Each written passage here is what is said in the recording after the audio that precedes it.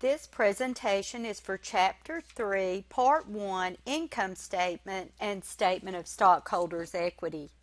The income statement, also called the Statement of Earnings, presents revenues, expenses, net income, and earnings per share for an accounting period, generally a year or a quarter. The Statement of Stockholders' Equity is an important link between the balance sheet and the income statement. This statement documents the changes in the balance sheet equity accounts from one accounting period to the next. Annual reports include three years of income statements and stockholders' equity information. The income statement comes in two basic formats the multiple step and the single step, with considerable variation in the degree of detail presented.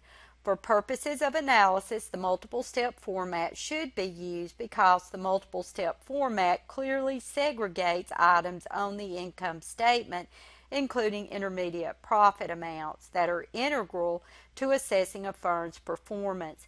If the company presents income statement information in a single step or modified multiple step format, the user of the financial statement should redo the statement into multiple step format before analysis. The multiple step format provides several intermediate profit measures, including gross profit, operating profit, and earnings before income tax prior to the amount of net earnings for the period. This is an illustration of a multiple step income statement for Sage Inc. for the years ending December 31st, 2016, 2015, and 2014. Note the intermediate calculations of gross profit, operating profit, classification of other income and expenses, and earnings before income taxes before net earnings. The single step version of the income statement groups all items of revenue together, then deducts all categories of expense to arrive at a figure for net income.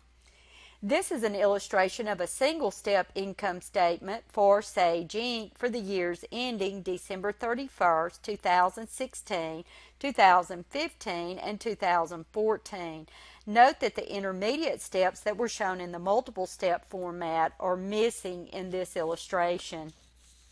Certain special items, if they occur during an accounting period, must be disclosed separately on an income statement regardless of the format. These are discontinued operations and extraordinary transactions. Most companies report comprehensive income, which is the change in equity of a company during a period from transactions other events and circumstances relating to non owner sources. It includes all changes in equity during a period except those resulting from investments by owners and distributions to owners. Companies are required to report total comprehensive income in one of three ways on the face of the income statement, in a separate statement of comprehensive income, or in its statement of stockholders' equity. Common size financial statements are a useful analytical tool to compare firms with different levels of sales or total assets, facilitate internal or structural analysis of a firm, evaluate trends, and make industry comparisons. The common size income statement expresses each income statement item as a percentage of net sales. It shows the relative magnitude of various expenses relative to sales the profit percentages, gross profit, operating profit, and net profit margins, and the relative importance of other revenues and expenses. This is an illustration of the common size income statements for Sage Inc. for the years 2012 through 2016. Total sales revenue for each year of the three year period is shown net of returns and allowances. A sales return is a cancellation of a sale, and a sales allowance is a deduction from the original sales invoice price. Sales are the major revenue source for most companies.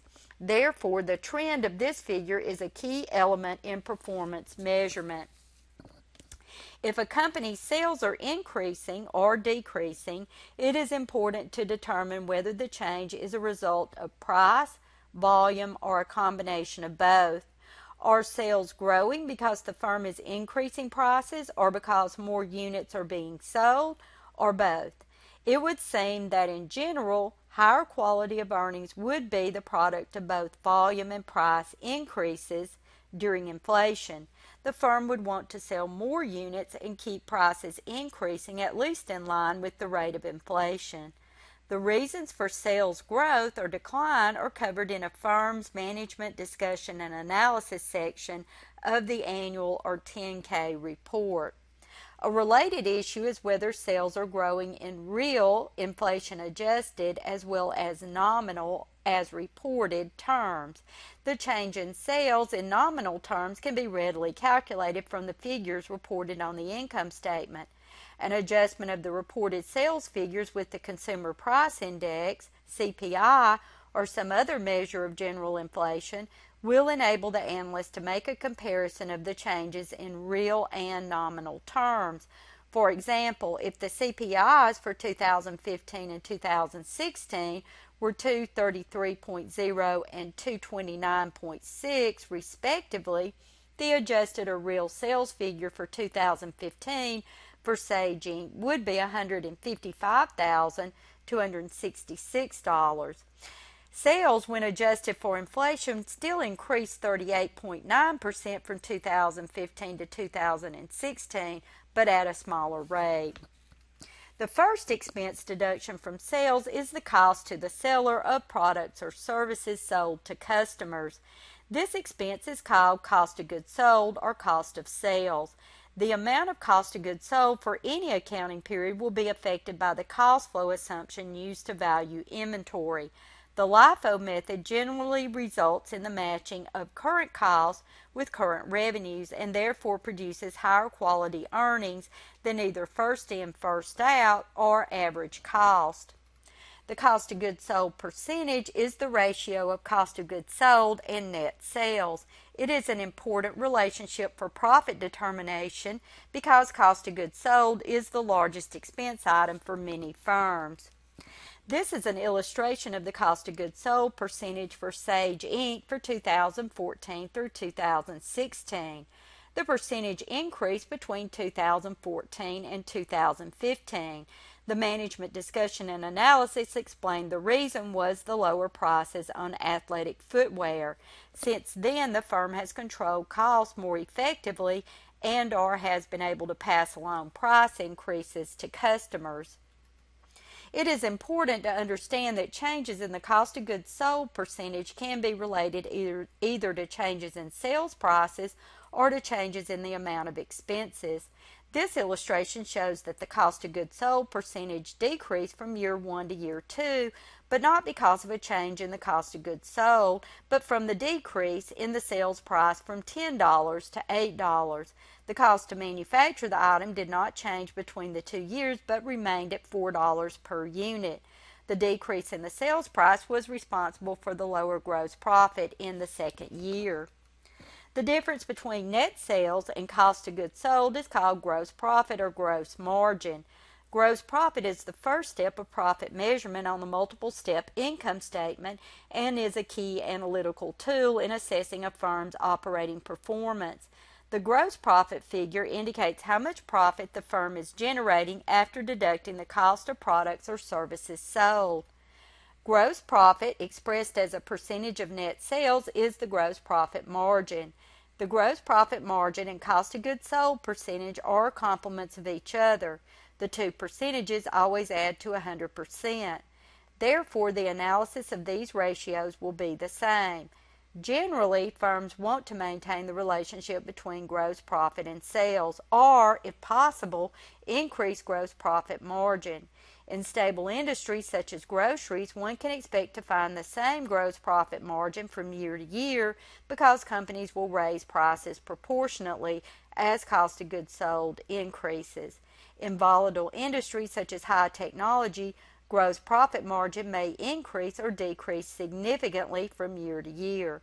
For example, Target had gross profit margins of 30% for the three years of 2011, 12, and 13, whereas Seagate Technology had a 19.6%, 31.4%, and 27.5% gross profit margin, respectively, in the same three years. Slide, this slide illustrates the gross profit margin for Sage Inc. for three, the three years of 2014, 2015, and 2016.